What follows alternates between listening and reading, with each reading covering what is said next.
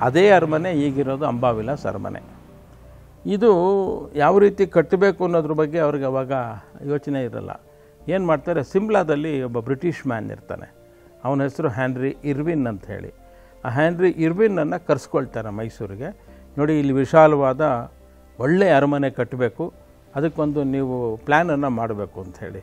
ಅವರು architect so ಅದಕ್ಕೊಂದು ಒಳ್ಳೆ ಪ್ಲ್ಯಾನ್ ಮಾಡಿಕೊಡ್ತಾರೆ. ಪ್ಲ್ಯಾನ್ ಮಾಡಿದ್ಮೇಲೆ ಕಟ್ಟಲಿಕ್ಕೆ ಒಬ್ಬ ಇಂಜಿನಿಯರ್ ಬೇಕಾಗ್ತಾರಲ್ಲ ಸಿವಿಲ್ ಇಂಜಿನಿಯರು ಕಲ್ಕಟ್ಟಾದಲ್ಲಿ ಒಬ್ಬರು ರಾಘ ರಾಘವಲ್ಲು ನಾಯ್ಡು ಅಂತ ಇಂಜಿನಿಯರ್ ಇರ್ತಾರೆ. ಅವ್ರನ್ನೂ ಕರೆಸ್ಕೊಳ್ತಾರೆ. ಅವ್ರನ್ನೂ ಕಳಿಸ್ಕೊಂಡು ಅದೇ ವರ್ಷ ಸಾವಿರದ ಎಂಟುನೂರ ತೊಂಬತ್ತೇಳು ನವಂಬರಲ್ಲಿ ಈ ಅರಮನೆಗೆ ಅಡಿಪಾಯ ಹಾಕ್ತಾರೆ. ಅಡಿಪಾಯ ಹಾಕೋರು ಯಾರು ಅಂದರೆ, ಈ ನಾಲ್ವಡಿ ಕೃಷ್ಣರಾಜ್ ಒಡೆಯರ್ರವರ ತಾಯಿ. ನಾವು, ನಾವೇನು ಹೇಳ್ತೀವಿ, ಕೆಂಪರಾಜ ಅಮ್ಮಣ್ಣಿ ವಾಣಿವಿಲಾಸ ಸನ್ನಿಧಾನ, ಅವರು ಅಡಿಪಾದ ಕಲ್ಲನ್ನು ಹಾಕಿ ಕಟ್ಟಲಿಕ್ಕೆ ಪ್ರಾರಂಭ ಮಾಡ್ತಾರೆ. ಕಟ್ಟಿದ್ದ ಅರಮನೆ ಅದು ಪೂರ್ಣ ಆಗೋದಿಲ್ಲ. ಸಾವಿರದ ಒಂಬೈನೂರ ಏಳರಲ್ಲಿ ಗೃಹ ಪ್ರವೇಶ ಆಗಿ ಅರಮನೆಯವರೆಲ್ಲ ಬೆಂಕಿ ಬಿದ್ದ ಮೇಲೆ ಜಗನ್ಮೋಹನ್ ಪ್ಯಾಲೇಸಲ್ಲಿರ್ತಾರೆ. ಆ ಜಗನ್ಮೋಹನ್ ಅರಮನೆಯಿಂದ ಇಲ್ಲಿಗೆ ಬಂದು ಗೃಹ ಪ್ರವೇಶ ಮಾಡ್ಕೊಳ್ತಾರೆ. ಆದರೆ ಸಂಪೂರ್ಣ ಆಗಿದ್ದು ಈ ಅರಮನೆ ಸಾವಿರದ ಒಂಬೈನೂರ ಹನ್ನೆರಡರಲ್ಲಿ. ಈ ಅರಮನೆ ಕಲೆ ಮತ್ತು ವಾಸ್ತುಶಿಲ್ಪದಲ್ಲಿ ಅದಕ್ಕೆ ಮತ್ತೊಂದು ಸಾಟಿ ಇಲ್ಲ.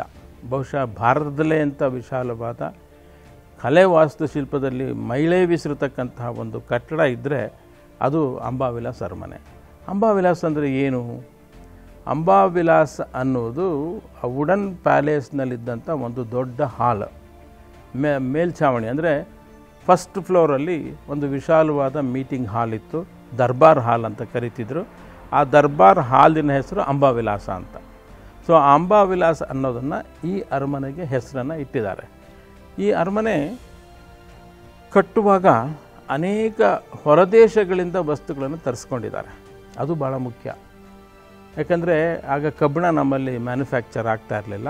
ಕಬ್ಬಿಣವನ್ನು ಏನಿದ್ರು ಹೊರಗಿಂದನೇ ತರಬೇಕಾಗಿತ್ತು. ಮತ್ತು ಈ ಸ್ಟೈನ್ ಗ್ಲಾಸಸ್, ಅಂದರೆ ಚಿತ್ರಕಲೆ ಉಳ್ಳ ಗಾಜಿನ ಹೊದಿಕೆಗಳು ನಮ್ಮಲ್ಲಿ ಇರಲಿಲ್ಲ. ಅವೆಲ್ಲವನ್ನು ಹೊರದೇಶಗಳಿಂದ ತರಿಸ್ಕೊಂಡಿದ್ದಾರೆ. ಈಗ ಕಲ್ಯಾಣ ಮಂಟಪ ಅಥವಾ ನಾವೇನು ನವಿಲು ತೊಟ್ಟಿ ಅಂತ ಏನು ಕರಿತೀವಿ, ಆ ನವಿಲು ತೊಟ್ಟಿಯಲ್ಲಿ ಕಬ್ಬಿಣದ ಕಂಬಗಳಿದ್ದಾವೆ ಈ ಕಬ್ಬಿಣದ ಕಂಬಗಳು ಸುಮಾರು ನಲವತ್ತರಿಂದ ಐವತ್ತು ಅಡಿ ಎತ್ತರ ಇದ್ದಾವೆ ಇವು ಕಂಬಗಳ ಗುಚ್ಛವನ್ನೇ ಮಾಡಿದ್ದಾರೆ. ನಾಲ್ಕು ನಾಲ್ಕು ಕಂಬಗಳನ್ನು ಹಾಕಿ ಗುಚ್ಛ ಮಾಡಿ ಎತ್ತರವಾದ ಮೇಲ್ಛಾವಣಿಯನ್ನು ಹಾಕಿ ಅದನ್ನು ಕಟ್ಟಿದ್ದಾರೆ. ಈ ಕಂಬಗಳನ್ನು ಲಂಡನ್ನಿಂದ ಇಂಪೋರ್ಟ್ ಮಾಡಿಕೊಂಡಿದ್ದಾರೆ. ಲಂಡನ್ನಿನ ಗ್ಲಾಸ್ಗೋ ಕಂಪನಿಯವರು ಈ ಕಾಸ್ಟ್ ಐರನ್ ಪಿಲ್ಲರ್ಸನ್ನು ಮೈಸೂರಿಗೆ ಕಳಿಸ್ಕೊಟ್ಟಿದ್ದಾರೆ.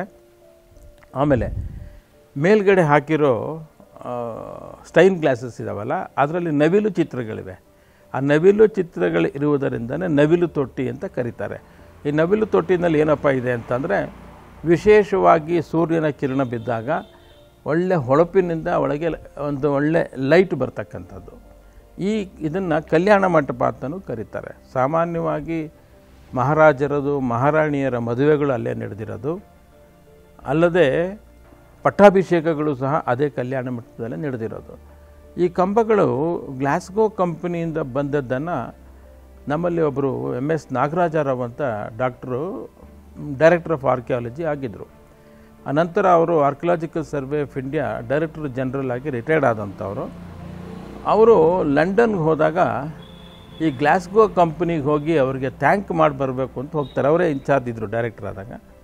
ಆದರೆ ಲಂಡನ್ನಲ್ಲಿ ಗ್ಲಾಸ್ಗೋ ಕಂಪ್ನಿಗೆ ಹೋದರೆ ದುರಾದೃಷ್ಟವಶಾತ್ ಆ ಕಂಪ್ನಿಯೂ ಸಹ ಬೆಂಕಿ ಬಿದ್ದು ಸುಟ್ಟು ಹೋಗಿದೆ ಯಾವುದು, ಗ್ಲಾಸ್ಗೋ ಕಂಪ್ನಿ.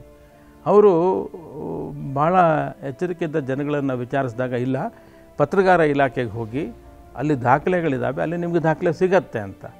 ಅಲ್ಲಿ ಹೋಗಿ ನೋಡಿದ್ರೆ, ಇವರಿಗೆ ಆ ಗ್ಲಾಸ್ಗೋ ಕಂಪನಿಯ ರೆಕಾರ್ಡ್ಗಳು ಸಿಕ್ಕಿದ್ವು. ಅದರಲ್ಲಿ ಅವರು ಬರ್ಕೊಂಡಿದ್ದಾರೆ, ಆ ಬರ್ಕೊಂಡಿರೋ ಸೆಂಟೆನ್ಸನ್ನು ಅವರು ತಮ್ಮ ಪುಸ್ತಕದಲ್ಲಿ ಸೇರಿಸಿದ್ದಾರೆ. ಈ ಗ್ಲಾಸ್ಗೋ ಕಂಪ್ನಿಯವ್ರು ಏನು ಬರೆದಿದ್ದಾರೆ ಅಂದರೆ we are proud to say that we are proud to say that we have supplied our cast iron pillars to Mysuru Ambavilas palace ಅಂತ ಇನ್ವರ್ಟೆಡ್ ಕಾಮರ್ಸ್ ಹಾಕಿ ಬರ್ಕೊಂಡಿದ್ದಾರಂತೆ.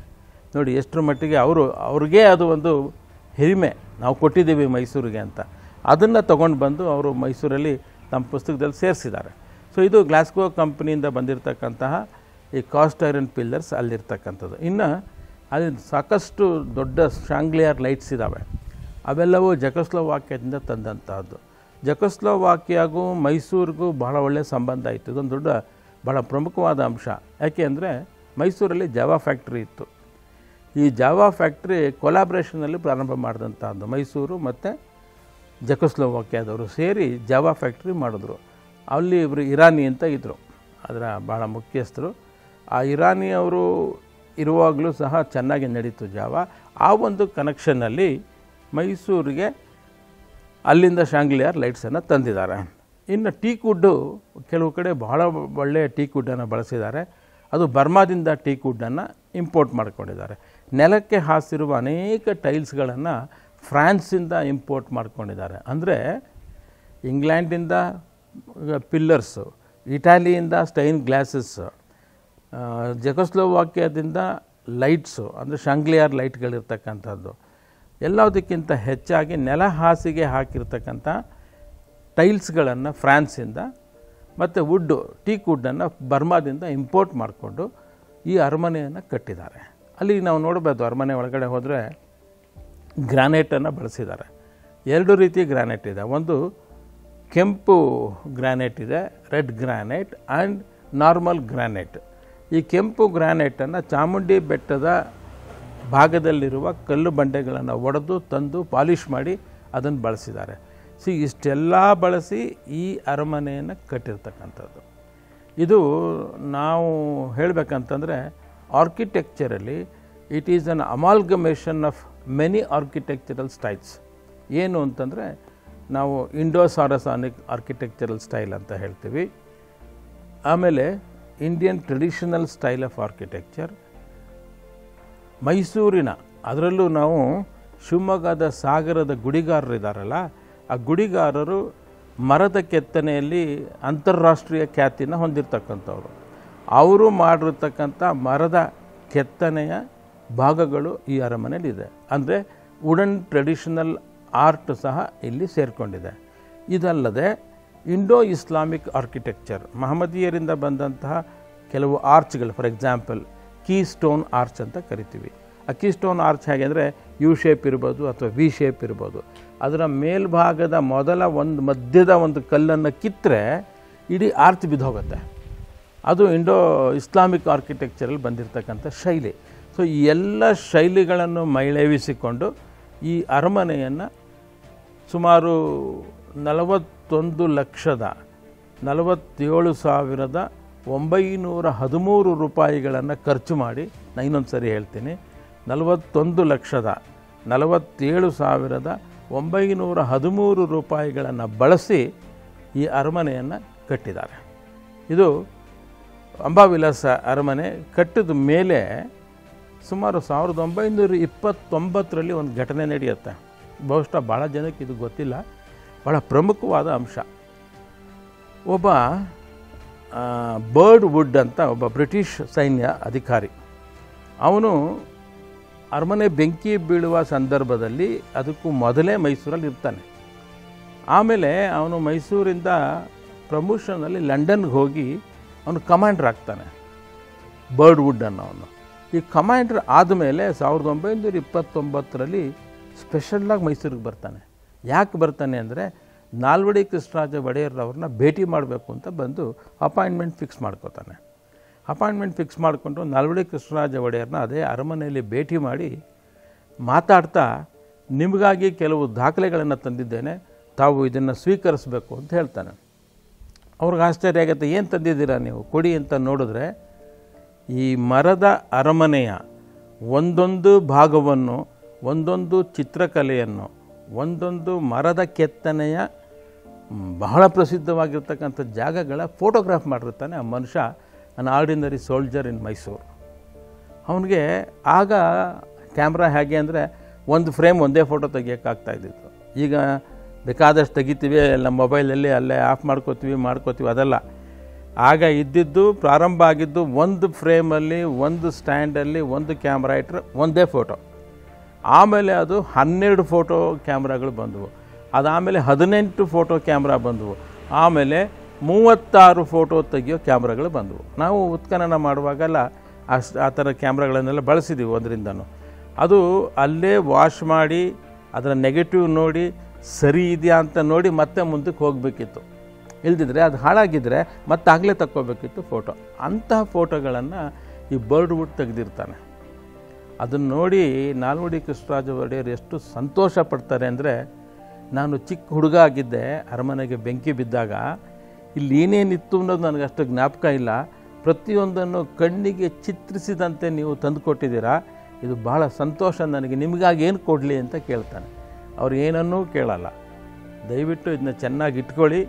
ನಿಮಗೆ ಬೇಕಾಗತ್ತೆ ಯಾವತ್ತಿದ್ರು ಅಂತೇಳಿ ಆಗ ಅವರು ಅರಮನೆ ಅಂಬಾವಿಲಾಸ ಭಾಗ, ಕೆಳಭಾಗದಲ್ಲಿದ್ದಂಥ ಪೇಂಟಿಂಗ್ ಇದ್ದದ್ದು, ಹೊರಗಡೆ ಸುತ್ತ ಪಡಸಾಲೆ ಇದ್ದಿದ್ದು ಸುತ್ತಾಡಲಿಕ್ಕೆ ಮರದ ಕಂಬಗಳನ್ನು ಕೆತ್ತಿರೋ ರೀತಿ ಇವುಗಳನ್ನೆಲ್ಲವೂ ಬಹಳ ಚೆನ್ನಾಗಿ ನಾಲ್ವಡಿ ಕೃಷ್ಣರಾಜ ಒಡೆಯರು ಆಸ್ವಾದಿಸಿ ತನ್ನ ತಮ್ಮನಿಗೆ, ತನ್ನ ಇತರ ಸಂಬಂಧಿಕರೆಲ್ಲರಿಗೂ ಅವುಗಳನ್ನು ತೋರಿಸಿ ಸಂತೋಷ ಪಡ್ತಾರೆ. ನೋಡಿ ಹೇಗಿದೆ ಅಂತ ಕ, ನಾವು ಅಂತೀವಿ ಈಗ, ಕ್ಯಾಮ್ರಾ ಹೆಂಗೆ ಬೇಕಾದರೂ ಫೋಟೋ ತೊಗೊಂಡ್ಬಿಡ್ಬೋದು ಆಫ್ ಮಾಡ್ಬೋದು. ಆದರೆ ಅವತ್ತಿನ ಆ ಫೋಟೋಗಳು ಒಂದು ದೊಡ್ಡ ದಾಖಲೆ ಆಗಿ ನಾಲ್ವಡಿ ಕೃಷ್ಣರಾಜ ಒಡೆಯರ್ ಕೈ ಸೇರಿದೆ. ಇದು ಆ ಅರಮನೆಯ ಮರದ ಅರಮನೆಯ ಕೆತ್ತನೆಯಲ್ಲಿ ಮತ್ತು ಇರ್ತಕ್ಕಂತಹ ಅನೇಕ ಸಂದರ್ಭಗಳಲ್ಲಿ ಬಳಸಿರ್ತಕ್ಕಂಥದ್ದನ್ನು ಇಲ್ಲಿ ನಾವು ಕಾಣ್ಬೋದು ಇನ್ನು ಈ ಅಂಬಾವಿಲಾಸ ಅರಮನೆ ಒಂದು ಭಾಗ, ಅಂದರೆ ಒಂದು ಭಾಗ ಇವತ್ತಿಗೂ ನಮ್ಮ ರಾಜವಂಶಸ್ಥರು ಇದ್ದಾರೆ. ಶ್ರೀಕಂಠದತ್ತ ನರಸಿಂಹರಾಜ ಒಡೆಯರ್ ಅಲ್ಲಿದ್ದರು ಅವರ ನಂತರ ಈಗಿರೋ ನಮ್ಮ ಯದುವೀರ್ ಕೃಷ್ಣದತ್ತ ಚಾಮರಾಜ ಒಡೆಯರ್ ಅವರ ತಾಯಿ, ಅವರ ಹೆಂಡತಿ ಮಕ್ಕಳು ಸಹ ಆ ಅರಮನೆಯ ಒಂದು ಭಾಗದಲ್ಲಿ ಅವರಿದ್ದಾರೆ. ಇನ್ನೊಂದು ಅದರ ಭಾಗ, ಮತ್ತೊಂದು ಭಾಗ ಅವರೇ ಇಟ್ಕೊಂಡಿರ್ತಕ್ಕಂತಹ ಒಂದು ವಸ್ತು ಸಂಗ್ರಹಾಲಯನೂ ಇದೆ. ಭಾಳ ಚೆನ್ನಾಗಿ ಇಟ್ಕೊಂಡಿದ್ದಾರೆ. ಅವರ ಮನೆ ಒಳಗಡೆ ಹೋಗಿ ನೋಡಬೇಕು. ನಿಜವಾಗ್ಲೂ ಅವರೇನಾದ್ರು ನಿಮಗೆ ಪರ್ಮಿಷನ್ ಕೊಟ್ಟರೆ ಸಾರ್ವಜನಿಕರು ನೋಡಬೇಕು ಎಂಥ ಒಳ್ಳೆ ಫೋಟೋಗ್ರಾಫ್ಗಳಿದೆ ಅಲ್ಲಿ ಅಂತಂದರೆ ಇಡೀ ಮನೆಯನ್ನು ಅವರು ಯಾವ ರೀತಿ ಅವರ ವಂಶದ ಬೆಳವಣಿಗೆಯ ಪ್ರತಿಯೊಂದು ಫೋಟೋಗ್ರಾಫು ಗೋಡೆನೇ ಕಾಣೋದಿಲ್ಲ. ಅಷ್ಟರ ಮಟ್ಟಿಗೆ ಅಲ್ಲಿ ಫೋಟೋಗ್ರಾಫ್ಗಳನ್ನು ಹಾಕ್ಕೊಂಡು ಇಟ್ಕೊಂಡಿದ್ದಾರೆ. ಈ ಭಾಗ ನಮ್ಮ ಸರ್ಕಾರದ ವರ್ಷದಲ್ಲಿರೋ ಜಾಗವನ್ನು ಒಬ್ಬರು ಡೆಪ್ಟಿ ಡೈರೆಕ್ಟ್ರು ನೋಡ್ಕೋತಾ ಇದ್ದಾರೆ. ಸಾವಿರಾರು ಜನ ಇಲ್ಲಿಗೆ ಬರ್ತಾರೆ. ಕಳೆದ ಎರಡು ವರ್ಷದ ಹಿಂದೆ ಎಂಬತ್ತ ಎರಡು ಲಕ್ಷ ಜನ ಮೈಸೂರು ಅರಮನೆಗೆ ಬಂದಿದ್ದಾರೆ. ಬಹುಶಃ ಇಂಡಿಯಾದಲ್ಲಿ ಲೈಟಿಂಗ್ ಇರ್ತಕ್ಕಂಥದ್ದು, ಅಂದರೆ ಒಂದು ಸ್ವಿಚ್ ಆನ್ ಮಾಡಿದ್ರೆ ಇಡೀ ಅರಮನೆಯ ಸುತ್ತ ಲೈಟ್ ಬರ್ತಕ್ಕಂಥ ವ್ಯವಸ್ಥೆ ಯಾವ ಅರಮನೆಯೂ ನಾನು ನೋಡಿಲ್ಲ. ದೇಶದ ಎಲ್ಲ ಭಾಗನೂ ಸುತ್ತಿದ್ದೀನಿ ನಾನು. ಇಲ್ಲಿ ಒಂದು ಲಕ್ಷದ ಹದಿನೆಂಟು ಸಾವಿರ ಬಲ್ಬ್ಗಳಿದ್ದಾವೆ ಈ ಬಲ್ಬ್ಗಳು ಹೇಗೆ ಅಂತಂದರೆ ವಿಶೇಷವಾಗಿ ಆರ್ಡ್ರ್ ಕೊಟ್ಟು ಮಾಡಿಸಿದಂತಹ ಬಲ್ಬ್ಗಳು ಯಾರೋ ಒಂದು ಬಿಚ್ಚಿಬಿಟ್ಟು ನಮ್ಮ ಮನೆಗೆ ಹಾಕ್ಕೊಳ್ಳೋಕ್ಕೆ ಸಾಧ್ಯವೇ ಇಲ್ಲ ಅದು. ಯಾಕೆಂದರೆ ಅದು ಸ್ಕ್ರೂ ಟೈಪ್ ಇದೆ. ಆ ಸ್ಕ್ರೂ ಟೈಪ್ ಇರೋ ಬಲ್ಬ್ಗಳನ್ನು ಯಾರೋ ಮೊನ್ನೆ ಹೇಳ್ತಾಯಿದ್ರು ನಾನು ಹೆರಿಟೇಜ್ ವಾಕ್ ಹೋಗುವಾಗ. ಸರ್, ತೆಗೆಸ್ಬಿಟ್ಟು ಎಲ್ಲ ಎಲ್ ಇ ಡಿ ಬಲ್ಬ್ ಹಾಕಿಬಿಡಿ ಸರ್ ಅಂತ. ಎಲ್ ಇ ಡಿ ಬಲ್ಬ್ಗೂ ಈ ಗೋಲ್ಡ್ ಕಲರ್ ಬರೋ ಬಲ್ಪ್ಗೂ ಮತ್ತು ಅರಮನೆಗಿರುವ ಐವರಿ ಕಲರ್ಗೂ ಭಾಳ ಹೊಂದಿಕೆ ಆಗುತ್ತೆ. ಅದು ಎಂದು ಎಲ್ಲಿಯೂ ಬ್ರೈಟಾಗಿ ಕಾಣೋದಿಲ್ಲ. ನಾವು ಎಲ್ ಇ ಡಿ ಬಲ್ಪ್ ಹಾಕ್ಬಿಟ್ರೆ ಬ್ರೈಟ್ ಆಗಿಬಿಡತ್ತೆ. ಅದು ಎಷ್ಟು ಕರೆಂಟ್ ಹೋದರೂ ಪರವಾಗಿಲ್ಲ. ಆ ಅರಮನೆ ಸೌಂದರ್ಯ ಇದೆಯಲ್ಲ, ಆ ಬಲ್ಪ್ ಹಾಕಿದಾಗ ಬರೋದು ಬಹುಶಃ ಬೇರೆಲ್ಲೂ ಆ ಸೌಂದರ್ಯ ಇಲ್ಲ. ಆಮೇಲೆ ಮೇಲ್ಛಾವಣಿಗೆಲ್ಲ ಚಿನ್ನದ ಲೇಪನ ಮಾಡಿರೋ ಹಾಕಿದ್ದಾರೆ. ಏ, ನಾವೇನು ಡೂಮ್ ಅಂತೀವಿ ಅಥವಾ ಗ್ಲೌಬ್ ಟೈಪಲ್ಲಿ ಇದೆಯಲ್ಲ, ಅದರ ಮೇಲೆ ಒಂದು ಇಪ್ಪತ್ನಾಲ್ಕು ಕ್ಯಾರೆಟ್ ಬೆಲೆ ಬಾಳುವ ಚಿನ್ನದ ಒಂದು ಬಾವುಟ ಇದೆ. ಭಾಳ ಚೆನ್ನಾಗಿ ಅದನ್ನು ಪ್ರೊಟೆಕ್ಟ್ ಮಾಡ್ಕೊಂಡಿದ್ದಾರೆ. ಈ ಅರಮನೆ ವಿಶೇಷ ಒಂದು ನೋಡಬೇಕು. ಭಾಳ ಜನ ಅದನ್ನು ಗಮನಿಸಿರಲ್ಲ. ಆ ಬಾವುಟದ ಕೆಳಗಡೆ, ಯಾಕೆ ಅದನ್ನು ಹೇಳ್ತಾ ಇದ್ದೀನಿ ಅಂದರೆ, ಅದ್ರ ಬಾವುಟದ ಕೆಳಗಡೆ ಎರಡು ಬಲ್ಬ್ ಇದೆ ಇವತ್ತಿಗೂ. ಒಂದು ಗ್ರೀನ್ ಬಲ್ಬ್, ಒಂದು ರೆಡ್ ಬಲ್ಬು. ಮಹಾರಾಜ ವಂಶಸ್ಥರು ಅರಮನೆಯಲ್ಲಿದ್ದರೆ ಗ್ರೀನ್ ಲೈಟ್ ಇರ್ತಾ ಇತ್ತು. ಜನ ಹೊರಗಡೆ ನಿಂತ್ಕೊಂಡೆ ಮಹಾರಾಜರು ಇದಾರೋ ಇಲ್ವೋ ಅಂತ ತಿಳ್ಕೊಂಬಿಡ್ತಾಯಿದ್ರು ಅವರು ಬೆಂಗಳೂರಿಗೆ ಹೋದರೆ, ಪ್ರವಾಸ ಹೋದರೆ, ಹೊರಗಡೆ ಎಲ್ಲಾದರೂ ಹೋದರೆ ರೆಡ್ ಲೈಟ್ ಆನ್ ಆಗಿರ್ತಿತ್ತು. ಇವತ್ತು ನಾವು ಸಿಗ್ನಲ್ ಲೈಟ್ಗಳನ್ನು ನೋಡ್ತೀವಿ. ನೋಡಿ, ಸಾವಿರದ ಒಂಬೈನೂರ ಏಳರಲ್ಲಿ ಅರಮನೆಯನ್ನು ಕಟ್ಟು ಮುಗಿಸುವ ಸಂದರ್ಭದಲ್ಲೇ ಈ ಬಲ್ಬ್ಗಳನ್ನು ಹಾಕಿದ್ದಾರೆ. ಇದೊಂದು ವಿಶೇಷವಾಗಿರ್ತಕ್ಕಂಥ, ಇದೇ ಏನು ವ್ಯವಸ್ಥೆ ನಮ್ಮ ಅಂಬಾರಿ ಹೊರತ್ತಲ್ಲ, ಚಿನ್ನದ ಅಂಬಾರಿ ದಸರಾ ಸಂದರ್ಭದಲ್ಲಿ ಆ ಅಂಬಾರಿಯಲ್ಲೂ ಅಳವಡಿಸ್ಕೊಂಡಿದ್ದಾರೆ. ಅಂಬಾರಿಯ ಮೇಲ್ಭಾಗದಲ್ಲಿ ಸಣ್ಣದ ಎರಡು ಬಲ್ಬ್ಗಳನ್ನು ಇಟ್ಟಿದ್ದಾರೆ. ಒಂದು ಗ್ರೀನ್ ಬಲ್ಬ್ ಇದೆ, ಒಂದು ರೆಡ್ ಬಲ್ಬ್ ಇದೆ. ಅಂಬಾರಿ ಹೋಗುವಾಗ ಅರಮನೆಗೆ ಸಂಬಂಧಪಟ್ಟಂತಹ ಸಂಬಂಧಿಕರಾಗಲಿ ಅಥವಾ ಅರಮನೆಗೆ ಸೇವೆ ಮಾಡಿದಂಥವರಾಗಲಿ, ಮಹಾರಾಜರಿಗೆ ಪರಿಚಯ ಇದ್ದವ್ರು ಯಾರಾದರೂ ಆ ಪ್ರೊಸೆಷನ್ ಹೋಗೋ ಸಂದರ್ಭದಲ್ಲಿ ನಿಂತಿದ್ರೆ ಅವರೇನಾದರೂ ಕಾಣಿಕೆ ಕೊಡಬೇಕು, ಪೂಜೆ ಮಾಡಬೇಕು ಅನ್ನಂಗಿದ್ರೆ ಮಹಾರಾಜರು ರೆಡ್ ಲೈಟನ್ನು ಆನ್ ಮಾಡ್ತಾಯಿದ್ರು ಆ ಮೇಲ್ಗಡೆ ಕೂತ್ಕೊಂಡು. ರೆಡ್ ಲೈಟ್ ಆನ್ ಮಾಡಿದ್ರೆ ಇಡೀ ಪ್ರೊಸೆಷನ್ ಅಲ್ಲಿ ನಿಂತು ಹೋಗಿ ನಿಲ್ತಾ ಇತ್ತು. ನಿಲ್ಲಿಸಿ ಅವರನ್ನು ಕೊಡುವ ಕಾಣಿಕೆಗಳನ್ನು ಸ್ವೀಕರಿಸಿ ಮತ್ತೆ ಮಹಾರಾಜರು ಮುಂದಕ್ಕೆ ಹೋಗುವಾಗ ಮತ್ತೆ ಗ್ರೀನ್ ಲೈಟ್ ಹಾಕ್ತಾಯಿದ್ರು ಸಿ, ಈ ಅದು ಗ್ರೀನ್ ಲೈಟ್ ಸಿಗ್ನಲ್ಲು ನಾವಿವತ್ತು ನೋಡ್ತೀವಿ, ಎಲ್ಲ ಕಡೆ ಗ್ರೈನ್ ಸಿ ಬಟ್ ಅರಮನೆ ಒಳಗಡೆ, ಅರಮನೆ ಪ್ರೊಸೆಷನ್ನಲ್ಲೂ ಸಹ ಈ ಲೈಟ್ಗಳನ್ನು ಅಳವಡಿಸ್ಕೊಂಡಿರೋದು ಎಷ್ಟು ವಿಶಾಲವಾದ ಮುಂದಾಲೋಚನೆ ಇಟ್ಕೊಂಡು ಇವುಗಳನ್ನು ಮಾಡಿದರು ಮಹಾರಾಜರು ಅನ್ನೋದಕ್ಕೆ ಇದು ನಮಗೆ ಸಾಕ್ಷಿಯಾಗಿದೆ. ಹೀಗೆ ಅರಮನೆ ಗೋಡೆ, ಅರಮನೆ ಈ ಒಂದು ನಾನು ಲಿಂಕ್ ಬಿಟ್ಟು ಹೋಯಿತು ಟಿಪ್ಪು ಬೀಳಿಸ್ತಾನೆ ಒಳಗಡೆ ಬಂದು, ಏನನ್ನು, ಅಂಬಾವಿಲಾಸ ಅರಮನೆ ಒಳಗಡೆ ಇದ್ದಂಥದ್ದು ಯಾವ ನಮ್ಮ ಸೌಂದರ್ಯ ವಿಲಾಸ ಅರಮನೆಯನ್ನು ಕಟ್ಟಬೇಕು ಅಂತ ಹೇಳಿ ಬೇರೆ ಅರಮನೆ ಕಟ್ಟಲಿಕ್ಕೆ ತೀರ್ಮಾನ ಮಾಡಿದ್ಮೇಲೆ ಅಲ್ಲಿ ಇರುವ ಎಲ್ಲ ಕಟ್ಟಡಗಳನ್ನು ನೆಲಸಮ ಮಾಡ್ತಾನೆ. ಯಾವ್ಯಾವುದು ಅಂದರೆ ಜನ ವಸತಿಗಿದ್ದಂತಹ ಮನೆಗಳ ಕಟ್, ಬಿದ್ದೋಗಿದ್ದ ಭಾಗಗಳು, ಈ ಸೌಂದರ್ಯ ವಿಲಾಸ ಅರಮನೆಯ ಭಾಗಗಳನ್ನು ಅವನು ನೆಲಸಮ ಮಾಡ್ತಾನೆ.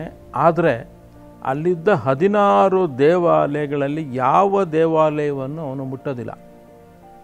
ಯಾವ ದೇವಾಲಯಕ್ಕೂ ಅವನಿಂದ ಹಾನಿಯಾಗಿಲ್ಲ.